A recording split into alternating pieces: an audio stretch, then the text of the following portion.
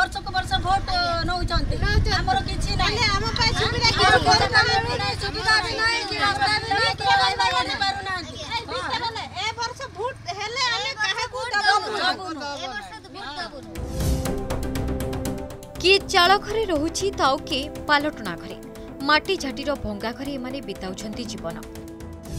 ଆଜି ବି ମୌଳିକ ସୁବିଧାରୁ ବଞ୍ଚିତ ଏହି ଆଦିବାସୀ ବସ୍ତି। ଆମେ କହୁଛୁ କେନ୍ଦ୍ରାପଡ଼ା ପୌରାଞ୍ଚଳ ଏକୋଇଶ ନମ୍ବର ୱାର୍ଡ କଜଳା ଆଦିବାସୀ ବସ୍ତି ବାସିନ୍ଦାଙ୍କ କଥା। ଏ ବସ୍ତିରେ ନା ଅଛି ରାସ୍ତା ନା ଅଛି ପାନୀୟ ଜଳର ବ୍ୟବସ୍ଥା। ଶୌଚାଳୟ ନଥିବାରୁ ନାହିଁ ନଥିବା ଅସୁବିଧାର ସମ୍ମୁଖୀନ ହେଉଛନ୍ତି ବସ୍ତି ବାସିନ୍ଦା। ତେବେ ବାରମ୍ବାର ଗୁହାରି କଲେ ମଧ୍ୟ ଏମାନଙ୍କ କଥା କେହି ଶୁଣୁନଥିବା ଅଭିଯୋଗ କରିଛନ୍ତି ସେମାନେ।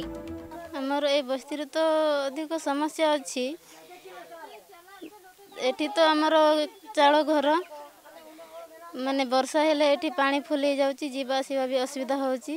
ଘର ସବୁ ଭାଙ୍ଗିଗଲାଣି। ଆଉ ଏକରେ ଆମର ତ ଲାଟ୍ରିନ୍ ତ ନାହିଁ ଶୌଚାଳୟ ପାଇଁ।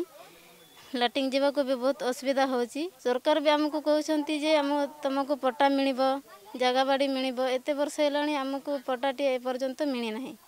ସେଥିପାଇଁ ଆମେ ଅନୁରୋଧ କରୁଛୁ ଯେ ସରକାର ଆମ କଥାକୁ ଆମ ଆମ ଯେ ଆମେ ଆମେ କହୁଥିବା କଥାକୁ ସେମାନେ ରଖନ୍ତୁ ବୋଲି। ଆମର ଏଠି କିଛି ସୁବିଧା ନାହିଁ। ମନ୍ତ୍ରୀ ସବୁ ଆସୁଛନ୍ତି ଏମିତି ବୁଲି ବାଲିକି ଯାଉଛନ୍ତି। କିଛି ଆମର ଏଠି କଜଳା ଗାଁରେ କିଛି ସୁବିଧା ନାହିଁ।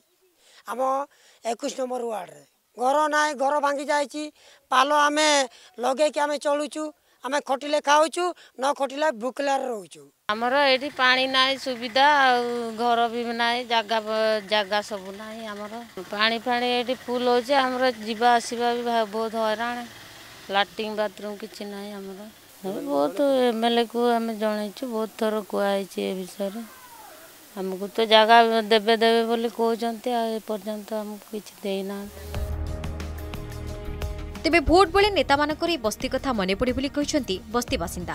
ପ୍ରଶାସନ ସ୍ଥାନୀୟ ବିଧାୟକ ଓ ରାଜନେତା ଆଜି ପର୍ଯ୍ୟନ୍ତ ଏମାନଙ୍କ ପାଖରେ ପହଞ୍ଚି ନାହାନ୍ତି ବୋଲି କୋହବରା କଣ୍ଠରେ କହିଛନ୍ତି ସ୍ଥାନୀୟ ବାସିନ୍ଦା।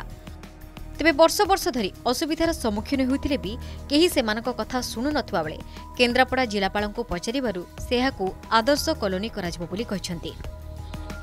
କିଛି ତ ନାହିଁ ଉମ୍, ଖାଲି ପାଣି ମିଳିଛି ଆଉ ଭତ୍ତା ବି ନାହିଁ ଆଉ ଘର ବି ନାହିଁ ଲାଟ୍ରିନ୍ ବି ନାହିଁ କିଛି ନାହିଁ। ଆମେ କ'ଣ ଏଇଖିଣା କାମ କରିପାରିବୁ ଯେ ଖଟିବା ପାଇଁ ଯାଇକି ଆମେ ପିଲା ଝିଅକୁ ଆଣିକି ଦେବୁ। କହିଲେ ନା ତମ ବୟସ ହେଇନି ଆଉ ଭତ୍ତା ମିଳିବନି। ଯଦି ଷାଠିଏ ବର୍ଷରେ ଭତ୍ତା ନ ମିଳିବ ଆଉ ତାହେଲେ ଉପାୟ କ'ଣ? କଜଳା ଯେଉଁ ଆମର ବସ୍ତି ଅଛି ସବୁଠୁ ବଡ଼ ଅ, ବସ୍ତି ଅଛି ସେଠି ଆମର ସର୍ଭିସ୍ କ୍ଲାସ୍ ଲୋକ ରହୁଛନ୍ତି। ତ କଜଳାକୁ ଗୋଟେ ଆଦର୍ଶ କଲୋନୀ ହିସାବରେ ପରିଣତ କରିବା ପାଇଁ ଆମେ ଆ, ଆ, ଯୋଜନା ଗୋଟେ କରିଛୁ ଯେମିତି ସବୁ ଘରକୁ ଡ୍ରିଙ୍କିଂ ୱାଟର ମିଳିପାରିବ ତାପରେ ଆପଣଙ୍କର ପାଥ୍ ଏବଂ ମିନିମମ୍ ଫେସିଲିଟି ହେଇପାରିବ ତା ପାଇଁ ଆ, ଆ, ଯେଉଁ ପ୍ରୋଜେକ୍ଟ ଯେଉଁଗୁଡ଼ା ଅଛି ସେଗୁଡ଼ା ସବୁ ଡିସ୍କସନ୍ ହେଇକି ତାର ଡିପିଆର୍ ଥ୍ରୁରେ ଅଛି। ଆଉ କିଛି ଦିନ ପରେ ଆସିବ ପଞ୍ଚାୟତ ନିର୍ବାଚନ ଏବଂ ପୌର ନିର୍ବାଚନ।